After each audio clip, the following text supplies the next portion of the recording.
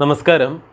Genghis Khan എന്ന് പറയുന്ന ഏകദേശം എ ഡി ആയിരത്തി ഇരുന്നൂറ് കാലഘട്ടത്തിലൊക്കെ ജീവിച്ചിരുന്ന ഒരാളുടെ ചരിത്രം ഇപ്പോൾ നമ്മൾ കാര്യമായിട്ട് പറയുന്നതിന്റെ പ്രധാന വസ്തുത എന്താണെന്ന് നോക്കിയാൽ ഈ പറയുന്നയാൾ ജംഗിസ് ഖാൻ എന്ന് പറയുന്നയാൾ ഒരു മര്യാദക്കാരനായിരുന്നു എന്ന് വെറുതെ ഒന്ന് സങ്കല്പിക്കുക അങ്ങനെയായിരുന്നുവെങ്കിൽ ഇന്നത്തെ ലോക ജനസംഖ്യ ആയിരം കോടിയാകുമായിരുന്നു എന്നാണ് കണക്ക് കൂട്ടുന്നത്.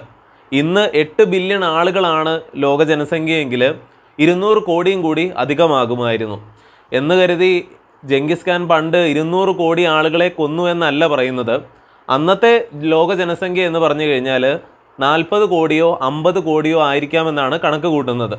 ജംഗിസ് ഖാൻ എന്ന് പറയുന്ന മംഗോൾ സാമ്രാജ്യത്തിന്റെ ഭരണാധികാരി ഒരുപാട് യുദ്ധങ്ങൾ നടത്തി. അതിലെല്ലാം കൂടി കൊല്ലപ്പെട്ടത് അല്ലെങ്കിൽ പട്ടിണി മൂലവും ഒക്കെ മരിച്ചത് ഏകദേശം നാല് കോടിയോളം ജനങ്ങളാണ് അന്നത്തെ കാലത്ത്. ലോക ജനസംഖ്യ തന്നെ അന്ന് കൂടിപ്പോയാൽ അമ്പത് കോടി മാത്രമേ ഉള്ളൂ എന്ന് ഓർക്കുക.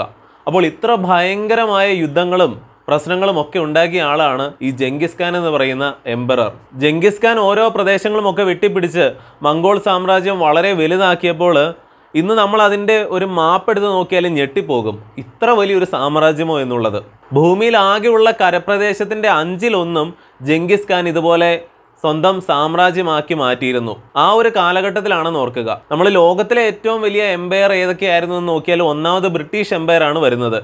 രണ്ടാമതാണ് നമ്മളിപ്പോൾ പറയുന്ന മംഗോൾ എംപയർ വരുന്നത്. മൂന്നാമത് റഷ്യൻ എംപയർ ആണ്.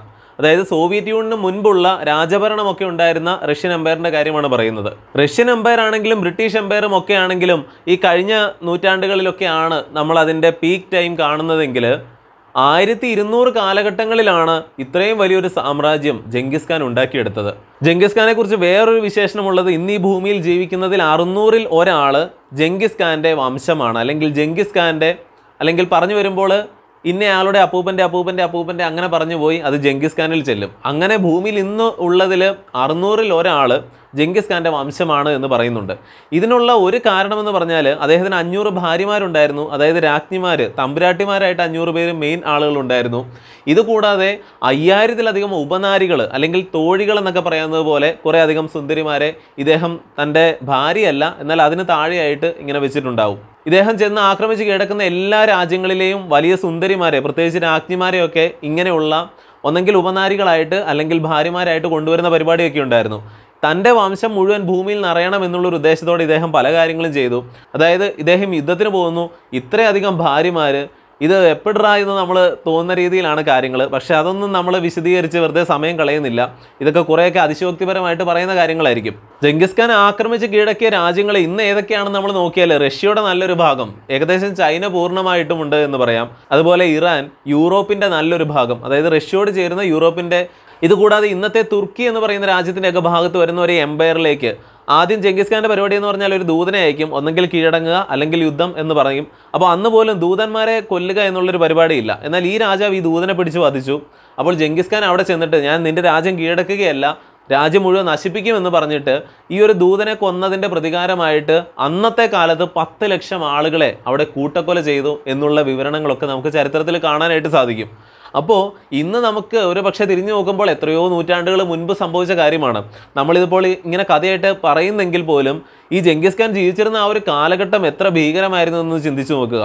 നമ്മൾ ബാഹുബലി സിനിമയിലൊക്കെ കണ്ടിട്ടുള്ളത് പോലെ ഈ ജെങ്കിസ് ഖാൻ ഓരോ പ്രദേശങ്ങളും കീഴടക്കുമ്പോൾ അവിടെയുള്ള കുറേ അധികം സാധാരണക്കാരെയും സൈനികരെയും ഒക്കെ പിടിച്ചിട്ട് ഇവരെ ഒരു കവചം പോലെ പിടിച്ചു നിർത്തും ഏറ്റവും മുൻപിൽ അതായത് പിന്നീടൊരു യുദ്ധം ഉണ്ടാകുമ്പോൾ ആ രാജ്യത്തുള്ളവർക്ക് സ്വന്തം രാജ്യത്തുള്ള ജനങ്ങളെയും കൂടി വധിച്ചതിന് ശേഷമേ ജംഗിസ് ഖാന്റെ പടയെ ആക്രമിക്കുവാനായിട്ട് സാധിക്കുമായിരുന്നുള്ളൂ. നമ്മൾ ഈ ബാഹുബലിയിൽ കാണുന്നത് പോലെ ആ അവിടുത്തെ ജനങ്ങളെ തന്നെ പിടിച്ചിട്ട് ഒരു ഷീൽഡായിട്ട് ഉപയോഗിക്കുക. ഇങ്ങനെയുള്ള യുദ്ധരീതികൾ വരെ ജംഗിസ് ഖാന്റെ സൈന്യം അവലംബിച്ചിരുന്നതായിട്ട് നമ്മൾ ചരിത്രത്തിൽ കാണുന്നുണ്ട്. അപ്പോൾ നമ്മൾ ഈ പറഞ്ഞു വന്നത് ഇത്ര ശക്തനായ ഈ ജംഗിസ് ഖാൻ എന്തുകൊണ്ടാണ് ഭാരതത്തെ ആക്രമിച്ച് കീഴടക്കാതിരുന്നത്? ചൈനയുടെ നല്ലൊരു ഭാഗവും ആക്രമിച്ച് കീഴടക്കുമ്പോൾ ജംഗിസ് ഖാൻ അന്നത്തെ കാലത്ത് സിൽക്ക് റൂട്ടിന്റെ പ്രാധാന്യവും അതുവഴിയുള്ള കച്ചവട താല്പര്യങ്ങളും ഒക്കെ ഉണ്ടായിരുന്നു. അതുപോലെ തന്നെ ഭാരതം എന്ന് പറഞ്ഞാൽ വളരെ സമ്പന്നമായൊരു പ്രദേശമാണെന്ന് ജംഗിസ് ഖാനും അറിയാവുന്നതാണ്. എന്നിട്ടും എന്തുകൊണ്ട് ജംഗിസ് ഖാൻ ഭാരതത്തെ ആക്രമിച്ചില്ല എന്നുള്ളതാണ് നമ്മൾ ഇന്ന് കണ്ടെത്താൻ പോകുന്നത്. പൊതുവേ നമുക്ക് പറയാം ഹിമാലയ പർവത നിരകൾ ഇന്ത്യക്കൊരു വലിയ വന്മതിലായിട്ട് ഇങ്ങനെ നിൽക്കുന്നത് കൊണ്ടാണ് ജംഗിസ് ഖാൻ ഇങ്ങോട്ട് വരാൻ കഴിയാതിരുന്നത് എന്ന് നമുക്ക് വേണമെങ്കിൽ പറയാം. അതൊരു കാരണമാണ്. എന്നാൽ ഈ ഹിമാലയ പർവത പ്രദേശങ്ങൾ ഇല്ലാത്ത ഭാഗങ്ങളുണ്ട്. ഉദാഹരണത്തിന് സിന്ധു നദിയുടെ പ്രദേശങ്ങൾ എടുക്കുകയാണെങ്കിൽ അതിലൂടെ ജംഗിസ് ഖാന്റെ പടയാളികൾക്ക് നേരെ ഭാരതത്തിലേക്ക് കടന്നു വരാൻ സാധിക്കുമായിരുന്നു. അതുകൊണ്ട് ഹിമാലയ പർവത നിരകൾ കൊണ്ടാണ് ജംഗിസ് ഖാൻ ഇന്ത്യയിലേക്ക് വരാതിരുന്നത് എന്ന് പറയുന്നതിൽ കാര്യമില്ല. വേറൊന്ന് നമ്മൾ കേട്ടിട്ടുള്ളത് ജംഗിസ് ഖാന്റെ പട എന്ന് പറഞ്ഞാൽ ഒരുപാട് കുതിരപ്പടയാളികൾ അടങ്ങുന്ന അല്ലെങ്കിൽ കുതിരകൾ ഒരുപാടുള്ളൊരു സൈന്യമായിരുന്നു.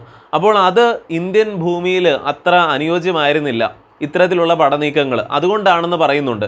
അത് നമുക്ക് കാര്യമായിട്ട് കണക്കിലെടുക്കാൻ സാധിക്കില്ല. കാരണം അന്ന് ഡൽഹി സുൽത്താൻ ഭരണവും ഒക്കെ ഉണ്ട്. ഈ കുതിരപ്പടയാളികളും സൈന്യവും ഒക്കെ ഭാരതത്തിലും അന്ന് നല്ല രീതിയിലുള്ള സമയമാണ്. അപ്പോൾ കാരണങ്ങൾ പ്രധാനമായിട്ടും വേറെയൊക്കെയാണ്. അതിലേക്കാണ് നമ്മൾ ഒരല്പം വിശദമായിട്ട് പറയാൻ പോകുന്നത്. ഗരാസ്മിയൻ എംപയർ എന്ന് പറയുന്ന ഇന്നത്തെ ഇറാൻ എന്നൊക്കെ പറയുന്ന രാജ്യത്തിന്റെ ഭാഗങ്ങളും ഒക്കെ അടങ്ങുന്ന വലിയൊരു സാമ്രാജ്യത്തിന്റെ രാജാവായിരുന്നു ജലാലുദ്ദീൻ എന്ന് പറയുന്ന ഒരു രാജാവ്. ഇദ്ദേഹത്തോട് യുദ്ധത്തിന് വന്നത് ഈ സാക്ഷാൽ ജംഗിസ് ഖാനാണ്. മംഗോൾ എംപയർ ആണ് യുദ്ധത്തിന് വന്നത്.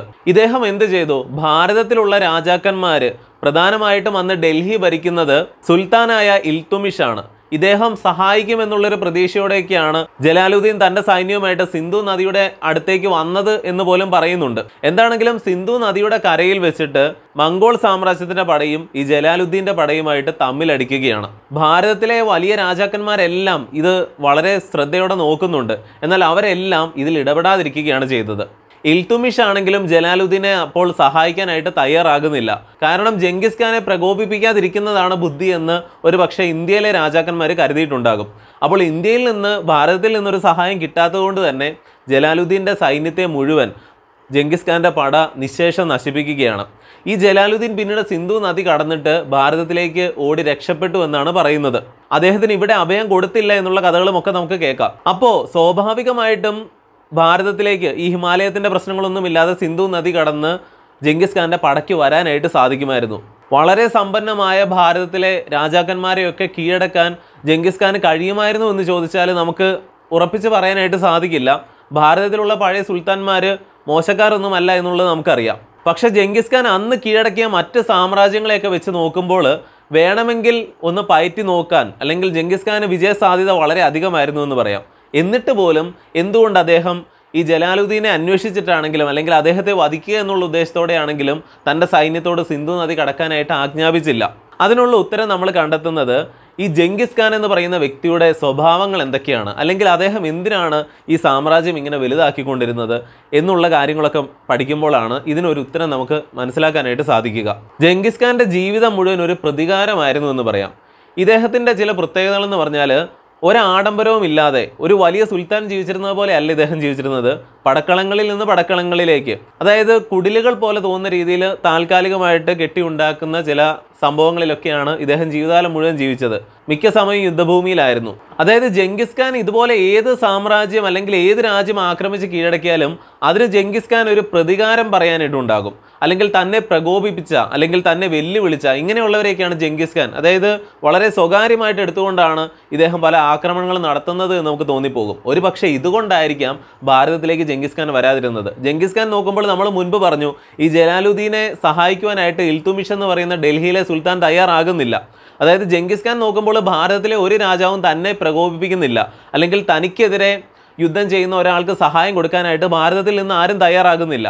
അതുകൊണ്ട് തന്നെ ജംഗിസ് ഖാന് ഭാരതത്തിലുള്ളവരോട് ഒരു ശത്രുത തോന്നേണ്ട അല്ലെങ്കിൽ ഇവരെ ഇപ്പോൾ കാണിച്ചു തരാമെന്ന് തോന്നേണ്ട ഒരു ആവശ്യമില്ലാത്തതുകൊണ്ട് തന്നെ ജംഗിസ് ഖാൻ ഒരു പക്ഷേ ഭാരതത്തിലേക്ക് നോക്കാതിരുന്നതായിരിക്കാം. ഇതിനായിരിക്കാം കൂടുതൽ സാധ്യത എന്ന് നമുക്ക് തോന്നിപ്പോകും. മറ്റൊരു പ്രധാന കാര്യം എന്ന് പറഞ്ഞാൽ സിന്ധു നദീതടത്തിൽ ഇങ്ങനെ ഒരു യുദ്ധം നടക്കുമ്പോൾ അതേ സമയത്ത് തന്നെ നമ്മൾ പറഞ്ഞു ജംഗിസ് ഖാൻ ചൈനയിലെ വലിയൊരു പ്രദേശം കീഴടക്കിയെന്ന്. അവിടെ വലിയ കലാപങ്ങൾ ഉണ്ടാവുകയാണ്. അതായത് ഈ മംഗോൾ സാമ്രാജ്യത്തിനെതിരെ. അപ്പോൾ അതിനെ അടിച്ചമർത്തേണ്ടത് വളരെ അത്യാവശ്യമായിട്ട് വന്നതുകൊണ്ട് ഭാരതത്തെ ഒന്നും ആക്രമിച്ച് കീഴടക്കാൻ അപ്പോൾ സമയമില്ല എന്ന് കരുതി ഈ കലാപത്തെ അടിച്ചൊതുക്കി വീണ്ടും ചൈനയിൽ ആധിപത്യം സ്ഥാപിക്കുവാൻ വേണ്ടി ജംഗിസ് ഖാൻ പോവുകയാണ്.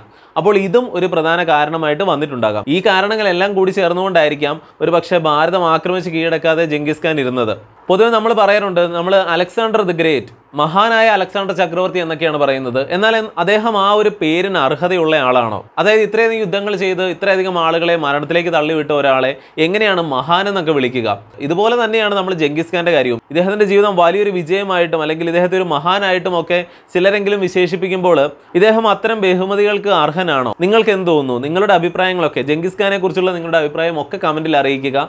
മറ്റൊരു വീഡിയോയിൽ വീണ്ടും വരാം. നന്ദി നമസ്കാരം.